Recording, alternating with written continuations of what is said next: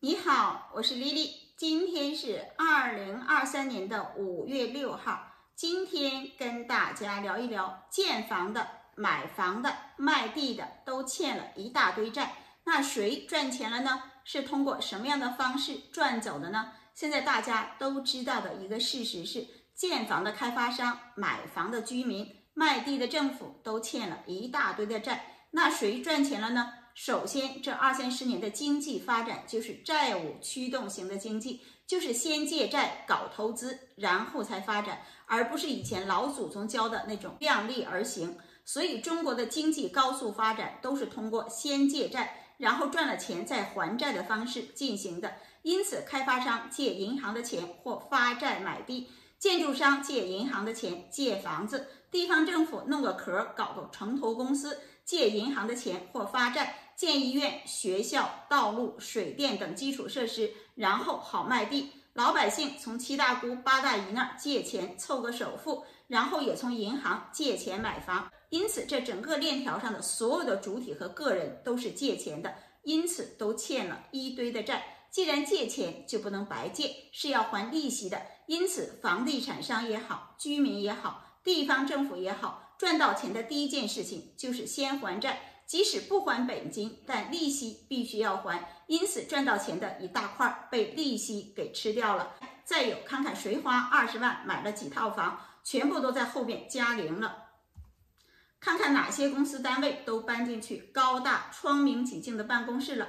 原来吃财政饭发不开工资的地方公务员，工资都坐火箭了。想想这三十年快速变富的人都是谁，就明白了。靠勤劳致富肯定没这么快。因此，最早上车买房的人和之前都开不出工资的公务员、教师等群体，也是房地产大发展的受益者。但是他们拿到的是小钱儿，中钱被这个链条上的各个利益群体瓜分了，大钱当然是权贵家族了。知道这么多年，各个地方都热衷于弄什么北大、清华附小，不是北京啊，是远在千里之外的其他省份，比如深圳也建清华附小，还有什么北大医院分院。高校大扩建就更不用说了，为了什么？就是为了房地产。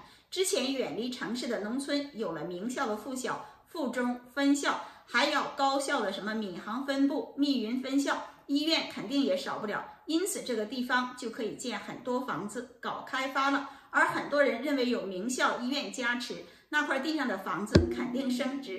于是，即使有了房子，还要借债再买房投资。那么多的生源哪来呢？扩招啊，高校扩招大跃进，从之前每年招生几十万，到后来的几百万，现在达到了每年几千万，美其名曰提高民族素质。所有的民众被洗脑宣传裹挟之下，无奈只能让娃上好学区的学校，上好大学。又由于水涨船高，公司招聘的学历也在升高。本来中专能干的活，现在都要研究生。很多家庭的父母只能继续在工地搬砖，在工厂拧螺丝供孩子上学，将来还找个好学校。结果大学毕业去跑滴滴、快递、送外卖了。他们不会在乎你念到大学毕业，整个家庭付出了多少成本，毕业后有没有工作。他们只在乎怎么让医疗、教育绑架老百姓，然后忽悠你去上学，买学区房或者所谓的什么名校分校。然后他们发展房地产，把你几十年所有的血汗钱掏空，然后他们的子女在海外过着花天酒地的生活。在二零一七年九月十日，郭先生的直播当中讲到刘延东家族，就讲了他们是怎么操作的。一个清华大学在哪儿建一个附小？清华什么教育学院？房地产涨几倍？结果在这个房地产项目旁边加一个医院，比如说协和北大医院。建一个联络医院，地产升几倍，这事儿都谁去干的？刘延东的先生、刘延东的女儿和家人，有 N 个人去干。谁想批医院，没有刘延东女士是绝不可能。想批分校，也必须刘延东批准。一个北大的建一个附属小学、附属中学，房地产马上升几倍，这是大家都知道的秘密。张宏伟的东方家园核心卖的概念就是利用医疗概念、教育概念来增加房地产，这是他成功的核心。至于盖的房子垃圾似的，没人在乎，谁给的？刘延东女士给的。前四十大院校、前五十大医院，所有的新增项目、新增投资，没有跟刘延东没有关系的。他不批准，绝对进行不了。中国南方的几个大的房地产项目里边，所有有教育影子的，所有有医疗影子的，都是刘延东家族的。所有的房地产商跟他没关系的几乎不多。这是郭先生在直播中说的，看到没有？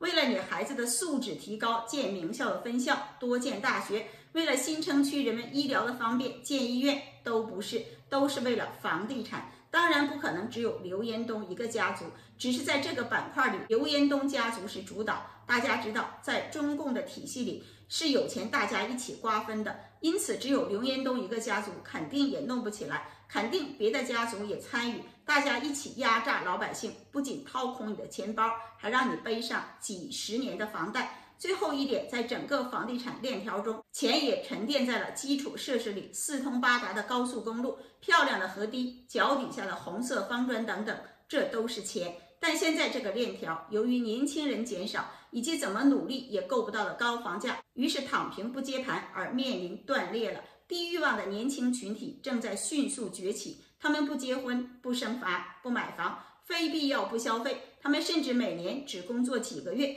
够年度最低生活开支就行，因此庞大的债务要爆雷了。而这个债务大雷爆炸之时，地方政府、开发商、居民都会被炸得粉身碎骨，生活水平直接倒退几十年。好，今天节目就到这儿了，拜拜。